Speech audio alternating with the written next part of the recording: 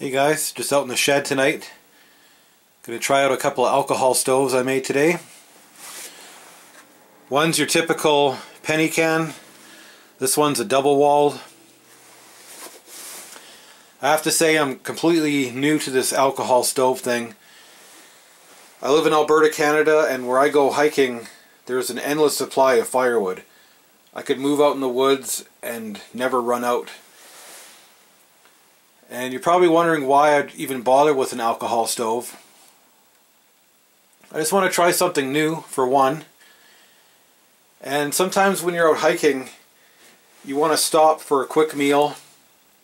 And usually if you have to stop, cut wood, process, and all that, you're looking at about a good hour wasted just stopping to eat.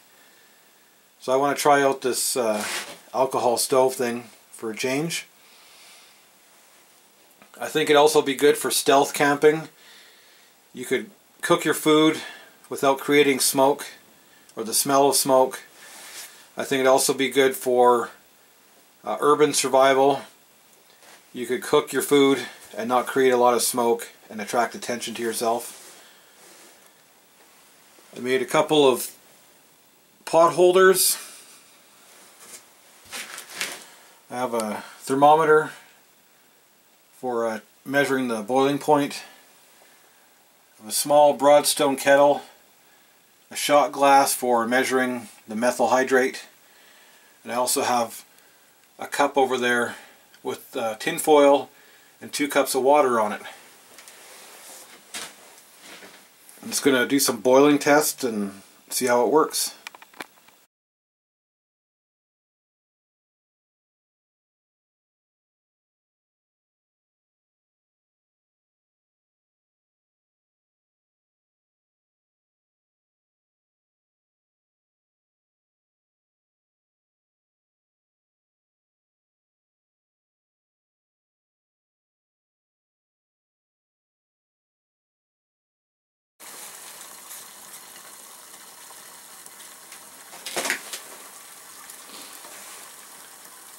So it took roughly about uh, five minutes each to boil two cups of water. I have two cups of water in this container, I two cups of water in the kettle.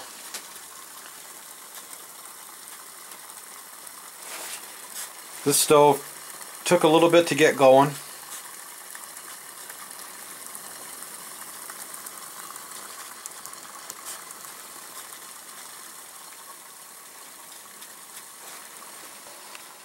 So that pretty much concludes my test. As I said earlier, I'm new to this whole alcohol stove thing. I built a couple stoves, wanted to try them out, do some boil tests. This one here has been going for 22 minutes now. Still burning. I put just about two ounces of fuel in it. I don't know if that's a fairly long time or a short time. This one burned out uh, about the 13 minute mark. This one's still going.